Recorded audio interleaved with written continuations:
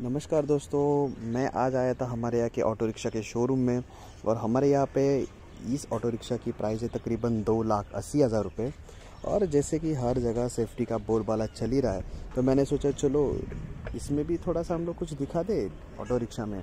अब ये देखो, सामने बस ये एक थिन पतरा आता है, ये जो लोहे का है, लोहे का एक पार्ट आता है, जो इतना पतला है। उसके ऊपर आता है एक ये वाली फ्रेम और फिर पीछे पूरा आता है कपड़े का रूफ। ओके जैसे आप ये देख सकते हो। तो मुझे एक बात बताओ कि ये जो लोहे की ये जो चीज़ है, ये जो पतरा है, ये कितना सेफ़ है? भाई ऑटो रिक्शा वालों, सब लोगों ने सेफ्टी में अपना अपना हाथ बढ़ाया है। तो थोड़ा आप भी बढ़ाओ। मैं बस हेट नहीं देना चाहता, बस बता रहा हूँ कि थोड़ा बस बढ़ा लो। क्या ही होगा?